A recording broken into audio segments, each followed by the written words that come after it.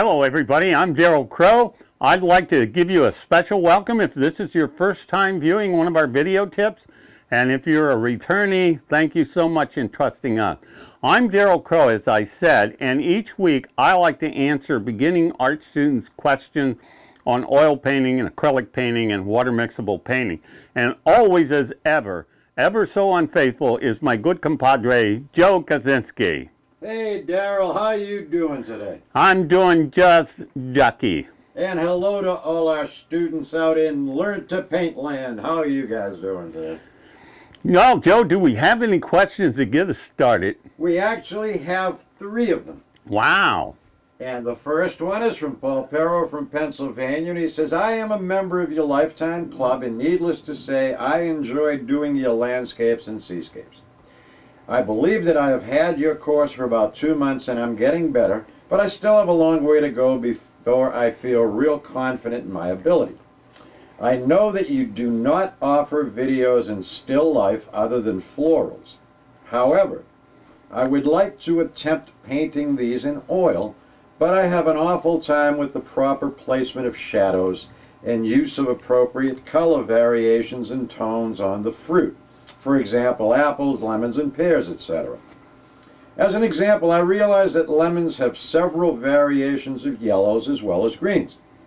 Some are lighter and some are darker, and I simply cannot seem to get the proper color tones of blending without making it look like a blob. Can you help me in this area? We certainly can. We actually have put together a couple of uh, uh, videos since your question came in that I think you're going to find especially helpful. One was on actual object placement. And, uh, and if you have a photo that you're referencing, even if what you've done is put together your own still life creation, taken a photograph, and now you're trying to move what's on a 4 by 6 photo to uh, an 18 by 24 canvas, where should these objects reside? And we have a, a, a, video on that and a calculator that you can use for that. And if you're interested in that, you can go to www.darrellcrow.com slash YouTube. And there you'll be able to see some of the free down offers, download offers that we have, which includes the uh, uh, calculator along with a video instruction on how to use it.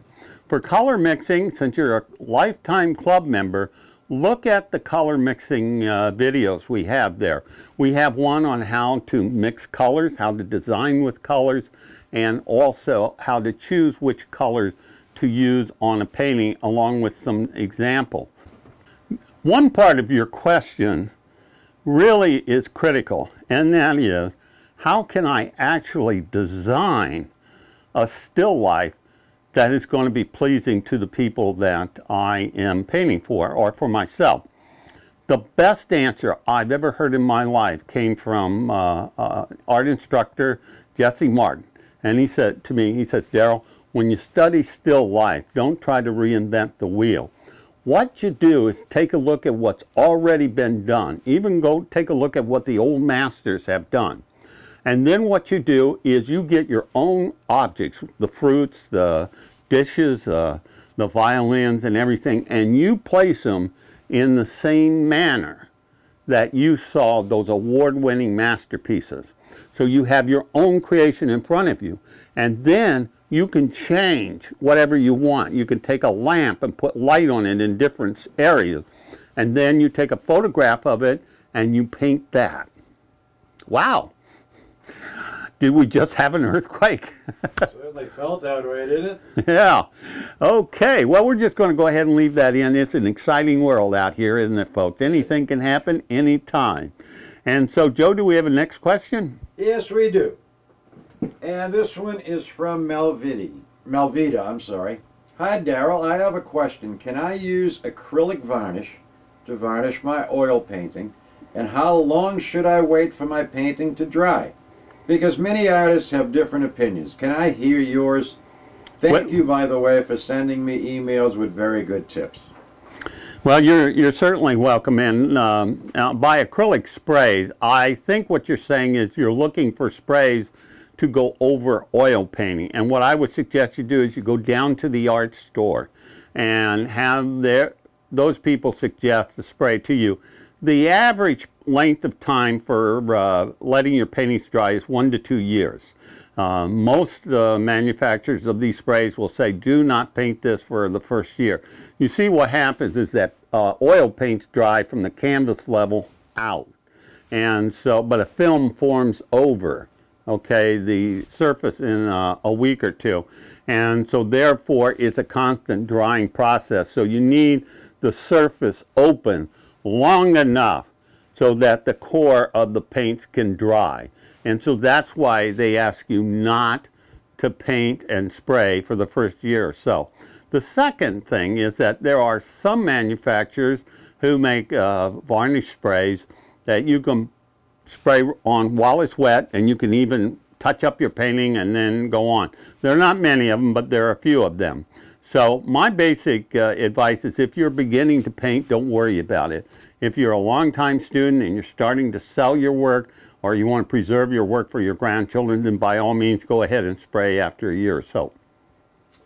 All right, and our final question is from, oh, Brenda from Monterey, California. Monterey. Yes. I love Monterey, Joe. I used to live there for four months. I kind of figured you'd appreciate this one. And her question is, what is underpainting? You mentioned it in last week's video tips. Ah, yes I did. I'm guilty, aren't I, Joe? Well, you sure are. See, you open up that Pandora's box every time you open your mouth. Yeah, I guess I do. But you know what? That's a that is an important concept for people to understand, especially if they're doing uh, wildlife or pet life or tame life or no life. And uh, the the thing that underpainting does is uh, it forms a base underneath other colors that we're going to lay over. And because we like to lay over more translucent colors, it helps to define deeper values of those colors. Now, all that means is, is that uh, we have two things to be concerned with. When we do the underpainting of a, for example, if you look behind me, I, I have a uh, German Shepherd here that I've done an underpainting for, Joe. And uh, you remember Hazel? Oh, yes. Yeah, well, Hazel, uh, this is her dog, Sheba, and I did a painting, and I did two or three versions of it, so to find out which one she liked. This wasn't the one she liked. She liked a different one. But in any event, um, Hazel, unfortunately, uh, has cancer, and uh, she was feeling pretty blue uh, for a week, you know, undergoing all that chemotherapy that they have to go through. And I thought I'd cheer her up. And so what I did is I put together a little painting. Now, when you do a painting, especially of a pet, Joe, yep. you have to underpaint it. And you're looking for dark values for the color. And you want to be able to uh, uh, have light values where lighter colors. Now, this German Shepherd does not have much white in it. It's mostly different tans and black, a lot of black. So that's where I put a lot of the uh, burnt umber. I do all my underpaintings in burnt umber. And I will sometimes coat the canvas first with uh, a light uh, color to begin with. Like with a lot of animals, I'll underpaint with yellow ochre as I did with this particular canvas. Some of them I underpaint with a, a more reddish brown one or some people call it pink. It's called terracotta.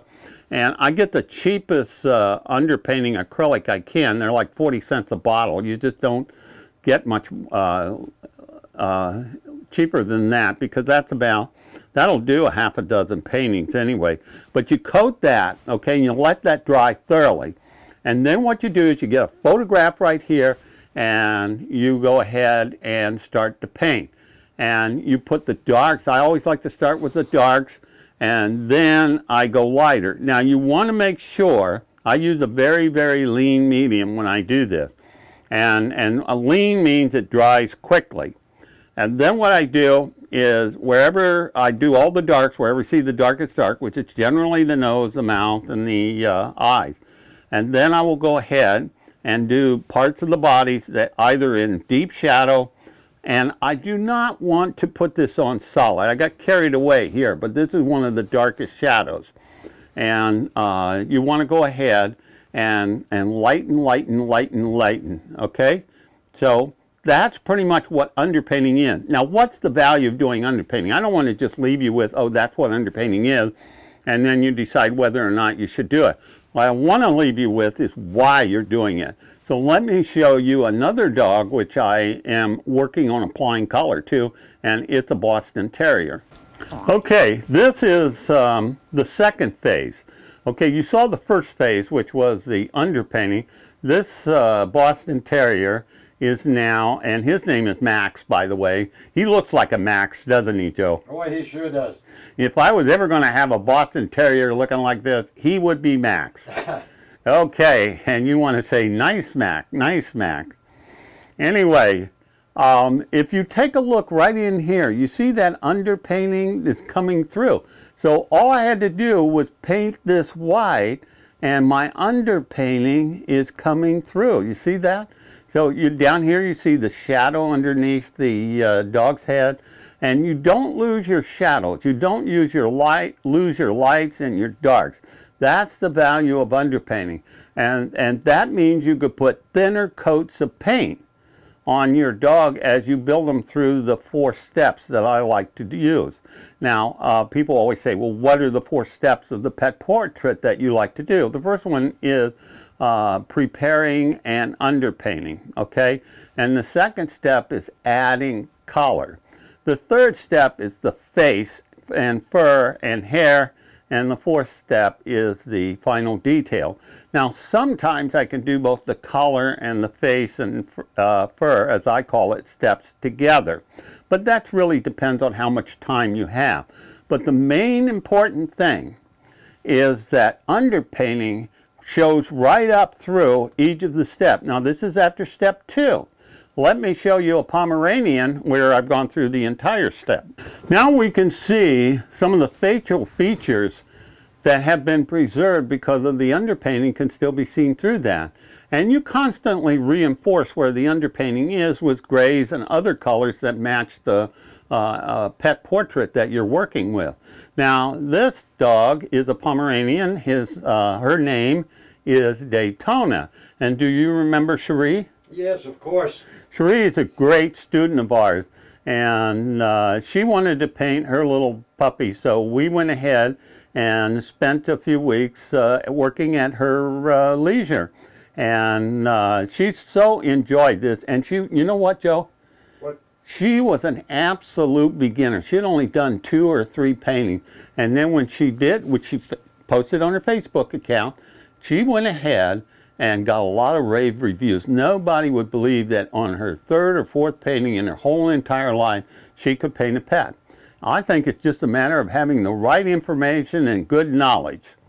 So anyway, uh, you can see all along here how these different uh, underpainting areas that we produced in the original uh, step shows through all the way through the entire process of painting the pet. So that's what underpainting is. Now, if you're a lifetime member, which I seem to think you are, uh, go take a look at our wildlife series. What you'll see is the very first step in each of those was an underpainting. So I think to have a lot of world of excitement ahead of you if you decide to incorporate underpainting in your paintings. It works great for uh, people, it works great for animals. On, on uh, landscapes and seascapes, I don't use that step at all. Okay, so Joe, that was a great question. And that was the last question. Well, let's go fishing. We'll see you tomorrow with the big trout. This is Darrell Crow, and this is... Joe Kaczynski. And yes, you can paint.